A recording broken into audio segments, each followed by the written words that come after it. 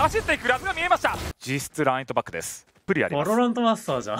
スリフティ目の前。何これ？苦しい。苦しい。のアビリティを壊しながら入っていきます。もうよれてはいる状態ではあります。パラノイア4人に入っている。パラノイアそうだ。一気にいったしかし開始のディメンショナルドリフト。走っていくラズが見えました。飛んだ。横を過ぎていったラズに対しては中に入っている。いや武器取れたぞ。トリプル。あああラズのセリフ。ツーだ。なんと2オン2いや抜かれたワンオン2ですマンチキンの2キル。パラノイアからのスタートでしたけれどもラズが走っていくシュールな光景が見られました。しかしラズのセリフ。うん。のかアイスランドまであと4キル。見えました。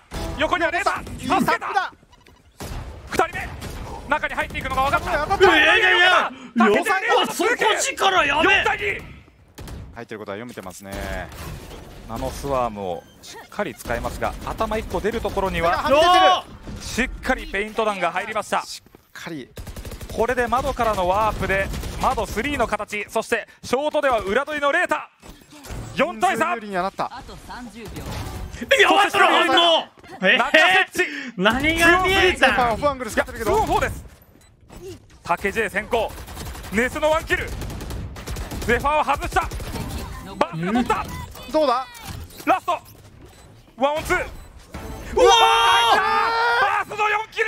逆ー転したショートまで14本目。ーこれで逆転すんの？でアブソリュートジェプター。なんとか耐えました。だっての夜の強みを生かすのがあくまでメインという話をまあステル選手も言っていました、あああれ？バースキルジョイバースがキルジョイ構成変わってきたな。ちょっと我々も比較的毎週彼とも話してますが初めて見ました。一番イメージと違いますね。初めてバースがキルジョイ。いやでもすごいですね。クレジラ君は同じ構成を出し続けてきた。アブソリュートジュピターは第ないですよね。3マップから構成を変えて特にこの第4マップ平分では大きく構成を変えました。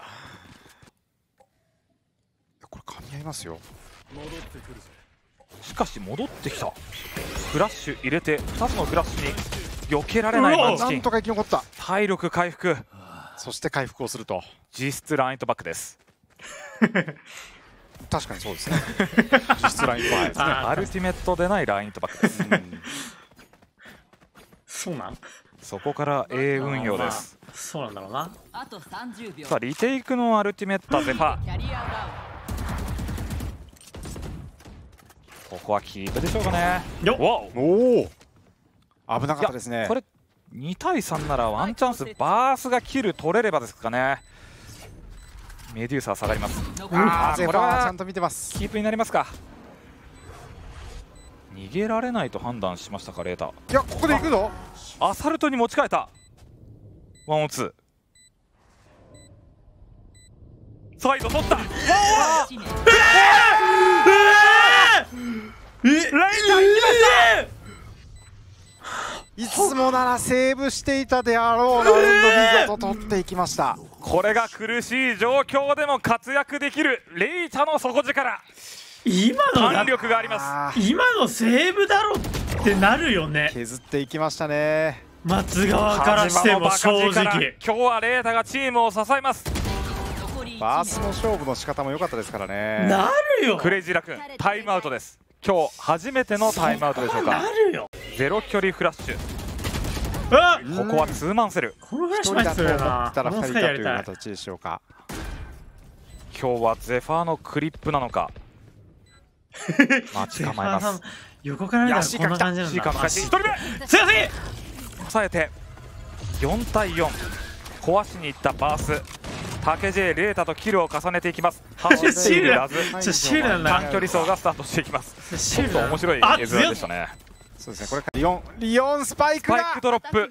ラズとクローがそのスパイクを抑えます。いやおかーしい姿見たらラズ勝負する。おかしいじゃん今の。ヤンキーでしょ。ラスト1目があったら勝負って。人ワンオンツーです。おかしいでしょかなりアブソそういうゲームじゃなくて戦戦い方が変わってきましたね。積極的な動きがそういうゲームじゃなくて本当に目立ってきました。おかしくない？時間はたっぷりあります。バロラントマスターじゃんスパイク位置は苦しいですよ。あと30秒。30秒。移動することを考えるとあと5秒からまあ10秒もないでしょう。回収して設置まで行きます。走っていく。なるほど。バレてもいいから取って設置してから戦った方がチャンスがあるだろうという考えですか。裏から回って B あと10秒。はあ B 来ましたかはあ明らかに今の動きはね C だと思ったんですけどね。スパイクを設置 B の方がチャンスありますよ。C そうですね。いろいろ隠れる場所ありますからな。ツーがただマジこれガレージ周りです。なるほど。取られ。たあの位置だと裏が取れる。すごいぞこ A れ。リンクを警戒したくなるような位置すごいぞこれは。これは。噛み合ってるぞ。はい背中が見えた。ワンオンワン。ーこれはやばい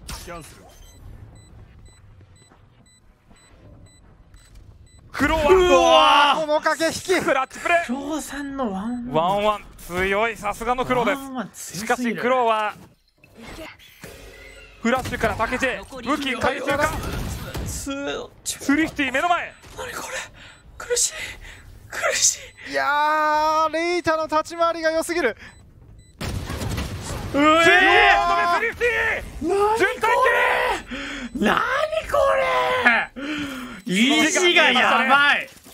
いやよく取れますね。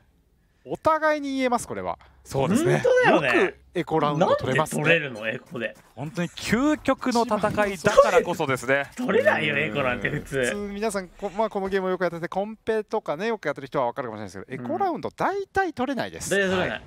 うん。諦めてるもんエコだからしかも相手はクレイジーラクーンとジュピターですよ。そうですね。そうだよ本当に素晴らしいチ結ームですね局頭一発だから極めてる人たちはエコでも取るんだな。アッシュで強引に持っていきましたけれども。これレイタが引き寄せています。勝ちを引き寄せているのはこのレイタ。そんな占いでもあったんでしょうか。先ほどクリアリングミスあったぞ。占いでもあったのか。レイタ側面を取った。正面ではなくて。どううわーやばが見えない。バースが見えない。上からうゼわさらに抜いファーたスに切る。強すぎ。あいったーうわ4キルゼファやはりクレイジーラクの主役はゼファーだった。ーまたまたリーチがかかりました。3度目の正直。ということでステージ1ステージ2見事優勝を果たしました。クレイジーラクーンの皆さんでした。ありがとうございました。そしておめでとうございます、おめでとうございますごかったわ。いやマジすごかったな。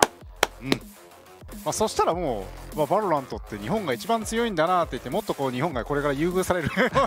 そうそうそうそうそう。そうですよ。さらには年末には本当の世界大会も控えてますから、えまあ、それに向けてまずは海外の味を味わってくると、えそうですね。はい、ぜひねクレイジーラクーンの皆さん優勝目指して頑張ってください。頑張ってください。頑張ってください。さて